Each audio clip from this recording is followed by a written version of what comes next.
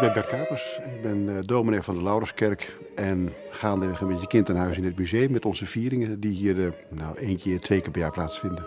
Uh, Derkom die kwam ooit een keer met de gedachte van hoe kunnen we een bredere spirituele basis voor het museum maken. Dat er meer mensen komen, ook uit andere groepen dan de gewone museumbezoekers.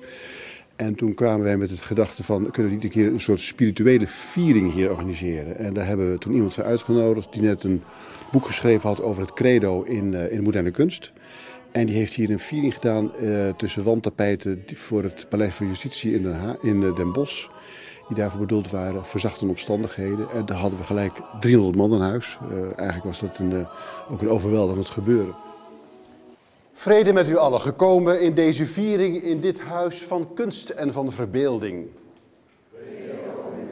Onze hulp in de naam van de Heer.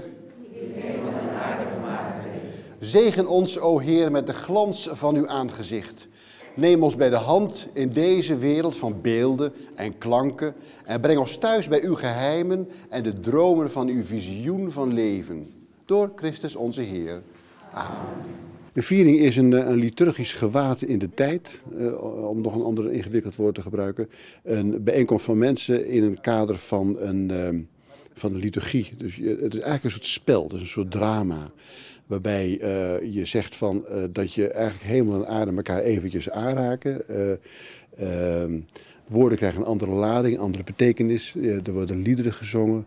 Ehm, je wijdt je tijd even aan je spiritus of aan je geest of aan God, kunnen mensen zeggen, eh, afhankelijk van je, je, je, je plek in de religieuze eh, traditie. Zo bleef Jacob alleen achter. En een man worstelde met hem, totdat de dag aanbrak. Toen deze zag dat hij hem niet overmocht, sloeg hij hem op zijn heupgewricht. Zo hebben we het verhaal van Jacob aan de Jabok nog niet eerder gezien. Een tango at midnight. Die engelenvleugel die je erop geschilderd ziet, zie je ook heel vaak op zondagschoolplaatjes. Want een engel heeft een vleugel, anders kan hij niet vliegen, nietwaar?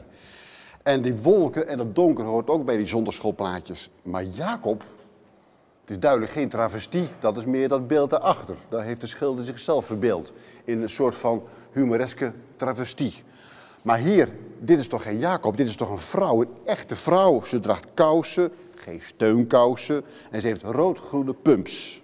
Ik ben protestant en dan ligt het nog wat meer dan denk ik in de, in katholieke traditie. De, uh, protestanten zijn heel erg gewend om cerebraal te, werken, dus heel erg vanuit de geest, vanuit het denken. en het gedachtegoed in de Bijbel, om het zo te zeggen, leent zich heel erg goed om situaties te overdenken waar het lastig is in het leven. het gaat heel vaak over lijden en over problemen en over schuld en hoe kom je daarmee weg en hoe los je dat op.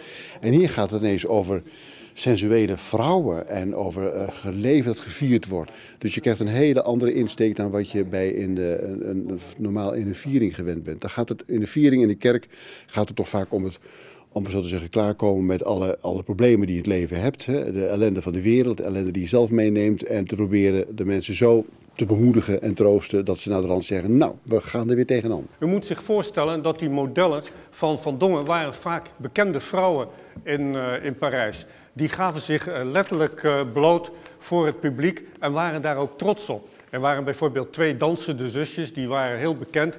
En een ervan was naakt geschilderd en toen vroeg een minister aan een journalist, is het nou het ene zusje of het andere? En de journalist bedekte het hoofd bekeek het lichaam en zei toen de naam van wie het dan wel was. Erik is er eigenlijk altijd bij. Het zijn nu 19 geweest, heb ik er laatst uitgerekend. We lopen samen door die tentoonstelling een paar keer heen en stemmen af. Uh, wat ga jij doen, wat ga ik doen?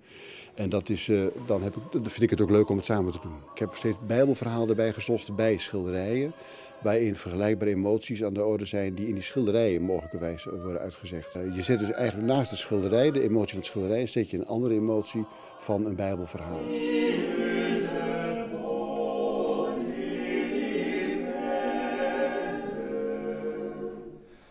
Deze tentoonstelling maakt ons een beetje in de war, want we eindigen bij het begin. Want we eindigen bij de eerste jaren van Van Dongen, toen hij nog in Rotterdam schilderde of vooral grafiek maakte, tekeningen maakte, affiches maakte, tekeningen. En we zijn nu in de buurt van de Zandstraat.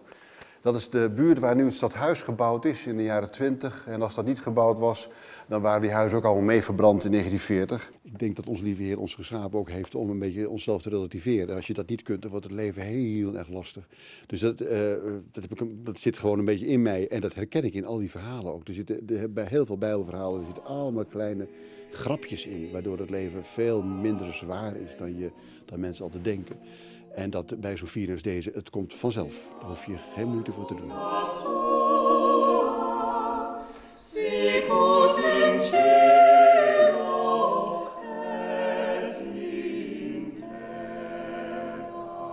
In de naam van de Vader, van de Zoon en van de Heilige Geest. Amen. Wel thuis.